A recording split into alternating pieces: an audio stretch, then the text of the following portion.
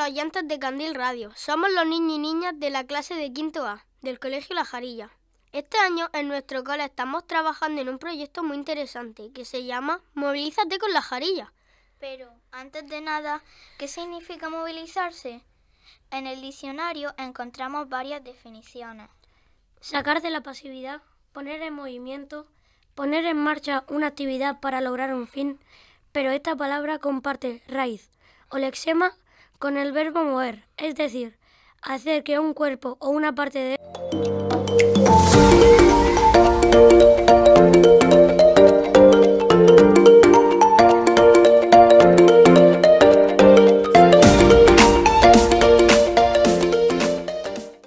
Eras una vez la Tierra. La Tierra nació hace 4.500 millones de años. Es el único planeta del sistema solar poseedor de agua líquida en su superficie. Esta permitió el nacimiento de vida, en un principio en forma micro, microorganismos en el interior de los océanos, luego en forma de vegetales y animales. Mucho más tarde, hace 7 millones de años, aparecieron los antepasados del hombre. En un principio eran cosechadores y cazadores. Más adelante descubrieron las energías fósiles que le han permitido hacer funcionar máquinas para ir cada vez más deprisa y más lejos. Pero debemos preguntarnos, ¿hemos llegado demasiado lejos, demasiado deprisa? ¿Acabaremos por convertir nuestro hermoso planeta Tierra en un lugar insoportable? Los ríos están contaminados por los productos químicos de la empresa y la agricultura. La tierra se calienta debido a las emisiones de los automóviles, los aviones y las calefacciones de los edificios, lo que provoca el deshielo de los glaciales y dará lugar a acontecimientos meteorológicos más graves. Por otro lado, especies animales y vegetales desaparecen por decenas cada día. Hay niños que no pueden ir a la escuela, personas que no comen lo necesario para saciar su hambre y una de cada seis personas no tiene acceso al agua potable. Y ahora que nos hemos puesto en situación, ¿qué podemos hacer nosotros?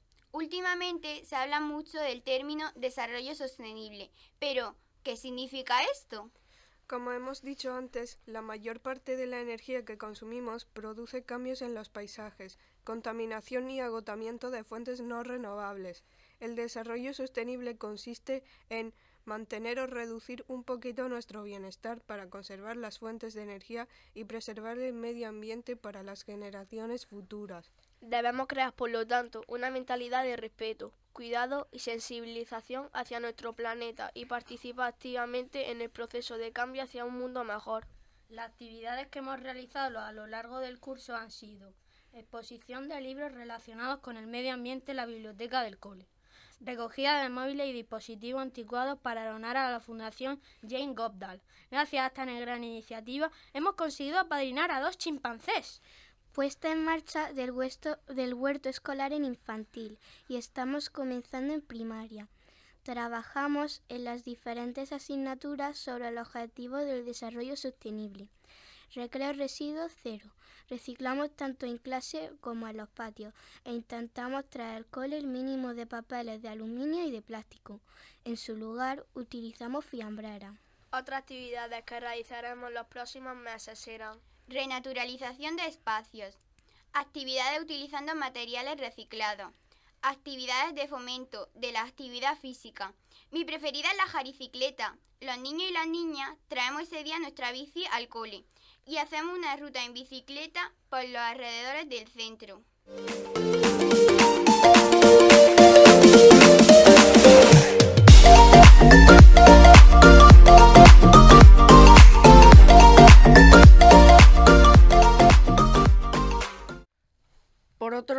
En nuestro cole estamos dentro del proyecto Erasmus Plus desde el año 2020. Los maestros y maestras decidieron que esa podría ser otra fuente de ideas para continuar trabajando en nuestro proyecto. Erasmus Plus es un programa en el que participan países de toda Europa. Tanto centros educativos como cualquier empresa o asociación puede realizar un proyecto Erasmus. Los participantes recibimos subvenciones que debemos utilizar para formar al profesorado con cursos, visitas a otros centros educativos y más tarde involucrar también a los alumnos. Esperad, esperad. Acaban de entrar dos personas al estudio. Pero, ¿y esta bandera? ¿Y este cartel? ¿Alguien me puede explicar qué es esto? Hoy hemos querido traer los símbolos de nuestro proyecto, la bandera Erasmus y el logo de nuestro nuevo proyecto. Opening Minds, Erlanching Lives. Este es el lema que luce nuestra bandera, que ha viajado ya por varios países. Sí, abriendo mente y enriqueciendo vida. Eso es lo que Erasmus Plus quiere transmitir. Por otro lado, en nuestro cartel Movidas con la Jarilla aparece también el logo del proyecto. Para la gente que nos escucha, nuestro logo está compuesto por unas manos que abrazan a un árbol, cuyo corazón es el símbolo, es el símbolo de la jarilla, nuestra flor. Todo esto aparece dentro de un fondo difuminado de la bandera europea. Uf, ¿cuántas cosas? ¿Qué querrán decir? Las manos que abrazan el árbol protegen algo muy valioso, la naturaleza, y algo que también es muy importante en nuestra vida, nuestro colegio.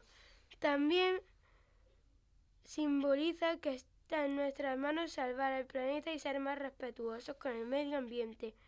Por último, la bandera como símbolo europeo.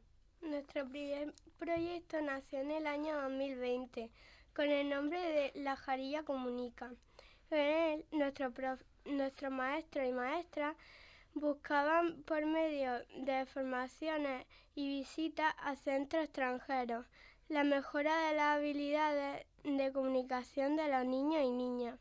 Nuestros profes han visitado países como Francia, Polonia, Italia o Finlandia.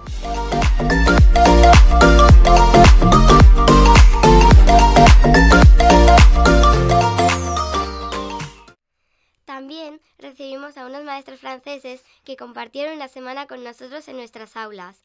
Se involucraron mucho y participaron en las actividades del centro. También dieron a nuestros maestros una pequeña charla sobre cómo ellos trabajan en Francia en su día a día. Una semana más tarde, la señora y la señora Carolina viajaron a Montluçon y pasaron una semana con ellos en su colegio. Vieron muchas cosas súper interesantes. ¿Nos podéis contar un poquito más? Por ejemplo, señor Carolina, ¿qué es lo que más te ha llamado la atención de los colegios que has visitado en Francia? Buenos días, chicos y chicas. Una de las cosas que más me ha gustado han sido los patios de recreo, rodeados de árboles, con areneros, pequeños huertos y muchos recursos de la naturaleza. Aprovechan para hacer actividades al aire libre siempre, siempre que pueden. Señor Aurora, ¿nos puedes contar una actividad relacionada con el medio ambiente que os haya gustado? Hola a todos y a todas. Sí, Hemos visto cosas súper interesantes, pero me quedo con algo muy curioso. Vimos una colmena y, ¿sabéis dónde estaba? Pues dentro de una clase. Nos llevaron con los ojos vendados y nos hicieron escuchar, oler, tocar el cristal que nos separaba de las abejas para percibir el sonido, el olor y el calor que desprendían. Fue una experiencia sensorial muy interesante y divertida. ¿Conocisteis algún lugar especial por aquella zona? Claro, Molusón es una ciudad medieval y pasar por sus calles es todo un privilegio, pero además tuvimos la suerte de visitar el robledal más grande de Europa. Se trata de un bosque que está a 40 minutos de la ciudad. Se llama Forêt Troncy. Allí Silvan, el vigilante del bosque, nos contó muchas curiosidades del bosque. Además, no sé si sabéis que los niños y niñas en Francia no tienen colegio los miércoles y ese día hay una asociación que se encarga de programar actividades para los niños y niñas cuyos padres trabajan y suelen hacerlas allí, en el bosque al aire libre. Muchas gracias a las dos. Nos ha encantado que nos contéis vuestra experiencia.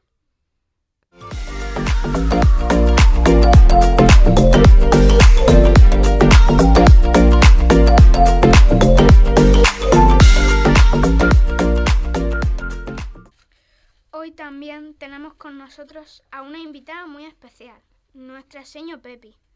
Ella participó en el programa visitando un centro de Polonia el pasado mes de noviembre. ¿Cómo se llama la ciudad donde viajaste?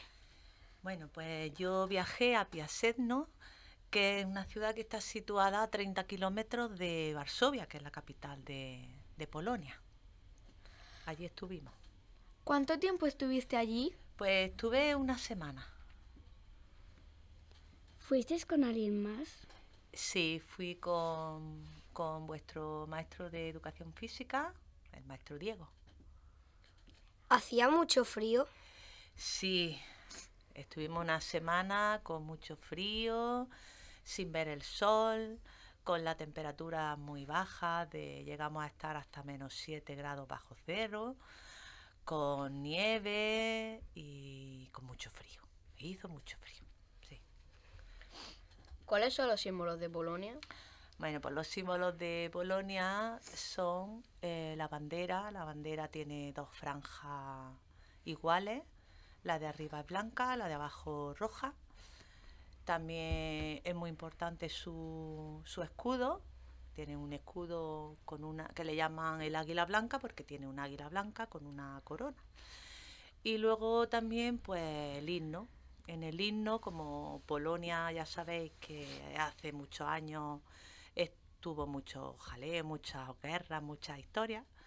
Pues en el himno habla, la letra del himno habla pues de que los soldados anima a los soldados a, a, intentar conseguir la independencia porque Polonia estuvo mucho tiempo pues bajo la presión de Rusia, de Alemania, en fin, de varios países. Entonces, pues anima a los soldados a luchar y a conseguir la independencia. Esos serían los, los, tres, los tres símbolos más importantes de Polonia. ¿Qué idioma hablan? Pues allí hablan el polaco. Entonces, ¿cómo te comunicabas? Bueno, pues nos comunicábamos en inglés, lo que podíamos. Allí la gente habla muy bien el inglés. Y además, pues cuando no podíamos hablar en inglés, pues teníamos que echar mano de, del traductor del teléfono. Y así pues conseguíamos entendernos. ¿Qué hiciste allí? Bueno, pues allí estuvimos visitando un colegio. Por la mañana estábamos todo el tiempo en el colegio, eh, haciendo pues, las actividades que hacían los niños. Y luego por la tarde, porque ellos tienen el horario igual que nosotros, solo dan clases por la mañana, pues por la tarde pues visitamos un poquito pues la ciudad, la ciudad de Varsovia, que es muy bonita. ¿Qué te parecieron los alumnos de ese colegio? Bueno, pues me parecieron unos alumnos muy tranquilos, muy respetuosos, eh, se movían y hacían todas las actividades con mucha tranquilidad. Son más tranquilos que, que los alumnos de aquí. Nosotros somos un poquito alborotadores y hablamos demasiado fuerte. Y ellos, pues la verdad que son más, más tranquilos. Me aparecieron alumnos muy, muy buenos. Vosotros también sois, lo que pasa es que vosotros sois más, más escandalosos, un poquito más escandalosos. Ellos son más tranquilos. ¿Los alumnos hablaban mucho? Pues sí, hablaban, pero como he dicho, con un tono mm, muy tranquilito. Allí la verdad es que se respira tranquilidad porque eh, eh, el tono de, que, de voz que tienen es más tranquilo, es más bajo. Allí en vez de hablar gritando, hablan tranquilamente. Entonces, mm, bueno, hablan igual que vosotros, cuando tienen que hablar, cuando están en clase, pues están más tranquilos. Pero cuando están en los descansos, pues hablan como cualquier otro, pero con su tono bajito. ¿Qué actividades realizaban los alumnos para divertirse en el recreo?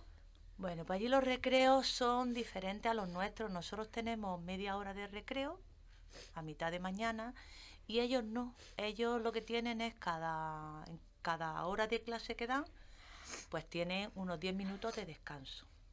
Entonces en esos 10 minutos de descanso, pues cada niño, cada niña elige lo que quiere hacer. El que quiere se va a la biblioteca, el que quiere a leer, el que quiere se va a hacer juegos de mesa, el que quiere se queda en los pasillos mm, comiendo o hablando tranquilamente, el que quiere se va a hacer deporte al pabellón deportivo, que tienen un pabellón deportivo impresionante, muy bonito, muy grande. El que quiere se va a la sala de juegos, es decir, que ellos mmm, libremente eligen dónde quieren ir y tienen esos descansos entre hora y hora de 10 minutos. Deciden lo que quieren hacer ellos. ¿Y qué tal la relación con los profesores? ¿Cómo? ¿Y qué tal la relación con los profesores? Ah, vale, pues la relación con los profesores muy buena, con los que vimos, porque claro, allí aquel colegio es un colegio como el nuestro más o menos, tiene unos 50 o 60 más alumnos, alumnos más que el nuestro, pero hay muchos profesores, hay casi 100 profesores, mientras que nosotros tenemos casi 40. Fijaros la diferencia. ¿eh? Entonces no hemos conseguido conocerlos a todos. Hemos conocido pues a los maestros de las clases donde hemos entrado, donde hemos entrado. Entonces, pues bueno, la relación ha sido muy buena, muy cordial y muy bien. ¿Cuántos alumnos había aproximadamente en las clases? Pues mira, en cada clase había aproximadamente unos 15 alumnos. No hemos estado en ninguna clase que hubiera más de 15 alumnos. Y 15 alumnos y dos maestros en cada clase. ¿Qué actividades hiciste con los niños? Bueno, pues con los niños hicimos distintas actividades. Por ejemplo, estuvimos, asistimos a clases de polaco, de alemán, que allí en vez de estudiar francés como nosotros, estudian alemán. Estuvimos en clase de inglés también. Eh, hicimos una excursión a un taller de papiroflexia donde nos enseñaron a, hacer cosas de papel, nos hicieron, hicimos un pin también. Estuvimos en, en, actividades deportivas, en un campeonato deportivo, porque allí en Polonia y sobre todo en ese colegio le da mucha importancia al deporte entonces estuvimos en un campeonato que hicieron entre distintos colegios, niños del colegio este con otros colegios. Eh, también estuvimos en, eh, en unos talleres de experimentos con los niños pequeños, muy bonitos. Estuvimos también haciendo mm, unos talleres de matemáticas con juegos cooperativos, muy bonitos. Eh, ¿Qué más? Pues pasamos por distintas clases, por distintas edades. Estuvimos con niños pequeños también, donde la maestra le estaba enseñando las letras, niños de 5 años le estaban enseñando a leer y a escribir. Eh, eh, juntaba esa enseñanza de las letras con experimentos también. Estuvo muy bonito. En fin, que estuvimos con clases de distintas edades y haciendo actividades diferentes. ¿Vale? ¿Visitaste algún museo, castillo o sitio importante? Pues sí. Eh, como teníamos las clases por la mañana, cuando salíamos, bueno, pues comíamos y nos, fuimos a visitar un poquito Polonia. Aunque lo visitamos de noche, porque allí se hace de noche a las 4. A las 4 ya es totalmente de noche. Entonces allí, pues bueno, vimos el Castillo Real, que tiene una exposición de pintura preciosa. Vimos la, plaza del castillo, que es una plaza que está llena de casas de colores muy bonitas. Estuvimos viendo la parte antigua de la ciudad, también llena de callejuelas y de, y de casas de colores. Y allí había una plaza donde había unas pistas de patinaje de hielo que hubiera encantado a vosotros. Estuvimos también visitando la parte moderna, la parte moderna de la ciudad, pues está llena de rascacielos, de rascacielos. Estuvimos también viendo un parque, el parque de la Cienki, que es un parque muy bonito que tiene un palacio encima de un lago y el parque es enorme, tiene también un anfiteatro. Estuvimos viendo algunos museos, en fin, pues lo que todo lo que nos dio tiempo. La suerte que tuvimos también es que estaba nevando y entonces vimos la ciudad con nieve, las plazas con nieve y eran muy bonitas, muy bonitas. ¿Cuál ha sido el sitio que más te gustó? Bueno, pues el sitio que más me gustó fue el parque de la Cienqui, el parque que he dicho con el palacio en el río, me gustó muchísimo, y también la plaza del castillo, que es la plaza que tiene casa de distintos colores. En medio, claro, hemos coincidido que como era Navidad, pues estaban todos los adornos de Navidad, todas las luces de Navidad. Entonces tenían un pino de Navidad en el medio y todo eso con nieve parecía una postal. Estaba precioso, precioso, muy bonito. ¿Cómo era la decoración? Bueno, pues vamos a ver. Eh, Polonia y la ciudad de Varsovia, que es donde estábamos nosotros, tiene las casas son todas muy grises, las construcciones de, ladrillo gris, Pero, eh, bueno, excepto la parte antigua, que es la que os he dicho que tiene, que tiene las casas de colores. Entonces, eh, como la hemos visto en Navidad, la hemos visto con muchas luces, con muchos colores, con muchos adornos de Navidad. La hemos visto muy bonita. Pero las, las casas en general son muy grises. ¿En la ciudad donde fuiste había edificios muy grandes? Pues la ciudad donde fuimos, eh, vamos a ver, hay una parte, la parte antigua, que tiene edificios más bajos, a lo mejor de dos, tres plantas como mucho. Y luego la parte antigua, perdón, la parte moderna, esa sí que tiene, tiene edificios muy altos y, y la parte más moderna, más moderna, que es la que os he dicho antes, que tiene rascacielos sí tiene. La parte antigua no, pero la parte moderna. ¿Había mucho tráfico? Pues sí. Vamos a mirar. Eh, Varsovia es una ciudad que tiene un, aproximadamente un millón setecientos y pico mil habitantes. Un millón setecientos y pico mil habitantes. Son muchos habitantes. Entonces, es una ciudad con mucho tráfico, pero lo bueno que tiene es que hay mucho transporte público, entonces la gente se desplaza en transporte público. Entonces, hay coches, pero no se ven tantos coches como se pueden ver aquí en Almería. Entonces, allí la gente viaja mucho en autobús, en tranvía, en el tren y en el metro. Se ve mucha gente cogiendo esos transportes públicos, porque funcionan muy bien. Funciona muy bien el transporte público. Entonces no se ve tanto, se ve tráfico público, tráfico de, de transportes públicos, pero no tráfico de transportes individuales. ¿Y allí crees que se cuida el medio ambiente? Pues sí, yo creo que sí, que cuida mucho el medio ambiente porque por lo que os he dicho, la gente en vez de utilizar su vehículo propio, utiliza mucho el transporte público. Entonces, imaginaros lo que están dejando de contaminar. Si cada uno llevara su transporte público, aquello sería un caos perdón, su transporte individual. Entonces, al coger el transporte público están dejando de, contaminar mucho. Sí, sí que cuidan el medio ambiente. ¿Había animales? Pues yo la verdad es que no lo he visto. en Varsovia por lo menos yo no he visto animales. En el pueblo donde estaba el colegio, sí, porque era un pueblo que tiene las casas muy pequeñitas, como chalet. Entonces allí sí que se veían algunos perros y eso, pero yo en Varsovia no he visto animales de ningún tipo. ¿Qué te ha parecido la experiencia? Bueno, pues la experiencia me ha gustado muchísimo, muchísimo, muchísimo. He podido ver cómo trabajan eh, en el colegio de, de allí. Hemos podido ver pues, y conocer la cultura que tienen allí, las costumbres que tienen allí, la manera de hacer las cosas, que es un poquito diferente a, nosotros.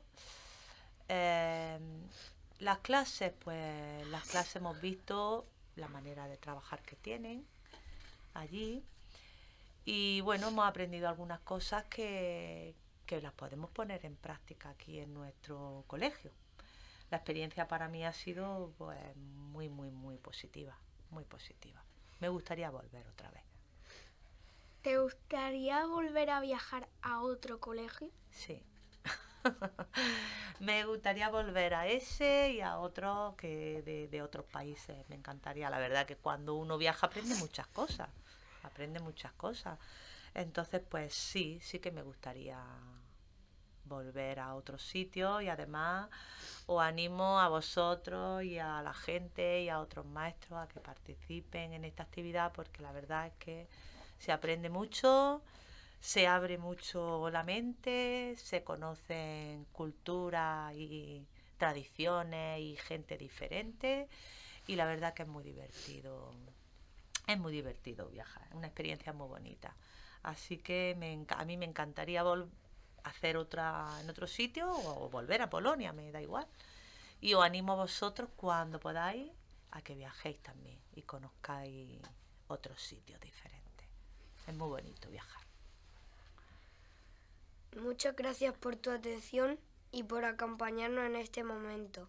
Pues, Adiós. y buenos días. Muchas gracias a vosotros por invitarme a vuestra a vuestro programa.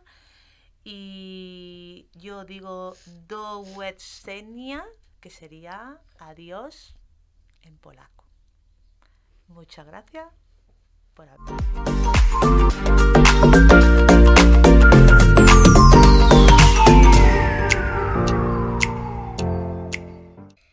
Nuestro proyecto anterior terminó el pasado 30 de diciembre. Ahora estamos pendientes de que en nuestro nuevo proyecto sea aprobado. Los objetivos por conseguir son, en primer lugar, la, eh, concienciación en el cuidado del medio ambiente y lograr ser un centro más sostenible. En segundo lugar, lograr una mayor relación con otros colegios europeos. Nos gustaría recibir visitas de otros profes y también de niños y niñas de otros países. En tercer lugar, la formación de nuestros maestros y maestras para una mayor calidad educativa en nuestro colegio. Por último, continuar con la transformación digital y la modernización de nuestra escuela. Este nuevo proyecto durará hasta el año 2027 e incluirá también movilidades de mayor duración, estancias de enseñanza, acogida de otros profesores y alumnos extranjeros, visitas de expertos en un tema y además movilidades de los alumnos más mayores de nuestro cole. ¡Qué emocionante! ¿Os imagináis pasar una semana en otro país hablando su idioma y conociendo a otros niños y niñas? Bueno, llegamos al final de nuestro programa de radio. Esperamos que os haya gustado y podamos seguir contando muchos años más nuestras historias de la jarilla. Adiós, que paséis un buen día.